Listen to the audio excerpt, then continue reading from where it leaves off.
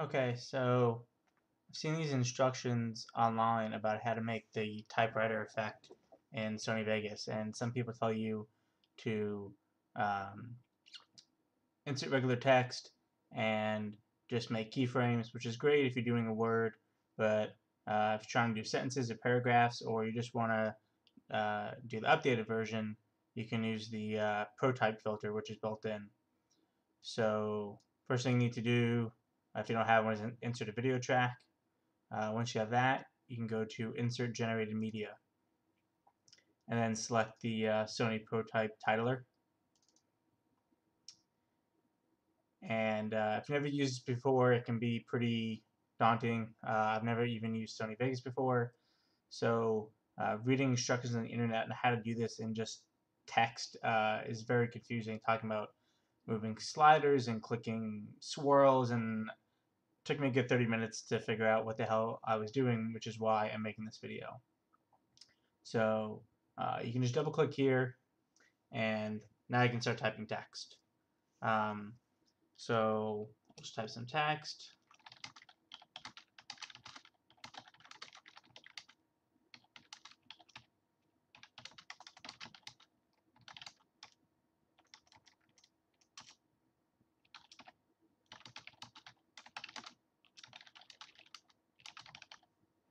Alright, and I can style my text here.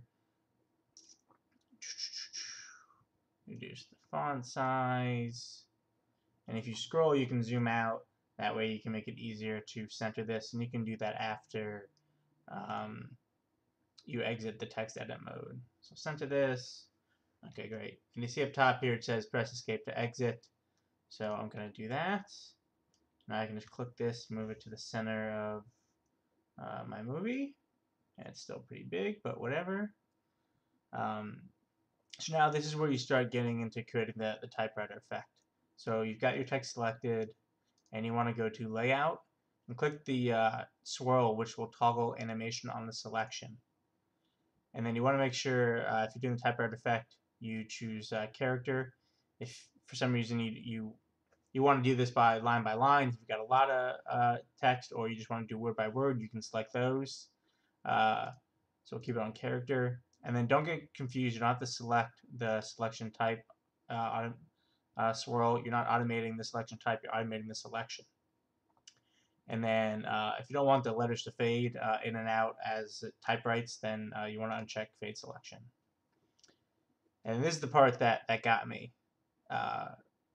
How you control uh, where your text is going to um, start typing from uh, is by this up here. This this is a, a, selection. This is a selection bar, I guess. Uh, some the the words online of how to do this will tell you to like um, drag your timeline, which you will need to do, uh, cursor, and then uh, drag the left and the right. And um, these bars down here do do stuff, uh, but that's if you want to make the effect uh, yourself. So you want to be dragging up here, um, not down here. So we're at the start of uh, the movie, zero seconds, and of course you want all the text to uh, be gone. So you're going to click this uh, blue thing here, and you're going to drag this slider in uh, all the way to the left so that your text is gone. Great, so we're starting my, my movie, text is gone. I want this all to type right in. Now you move your uh, timeline uh, for, for where you want it to end, where you want all the text to be typewritten in um, once it's done. So I'm going to go all the way to the end of my timeline, and I'm going to drag uh, the selection bar back uh, all the way to the end here. And then you see down over here, get this nice uh, gradually going up line. And if I start dragging my selection uh, timeline bar, you can see that it's already automated it uh, for me. It's already done the, the typewriting.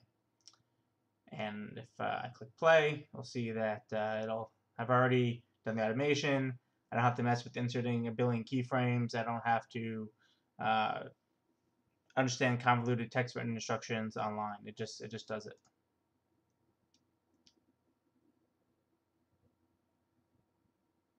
So I hope this video helped you. Uh, have a good one.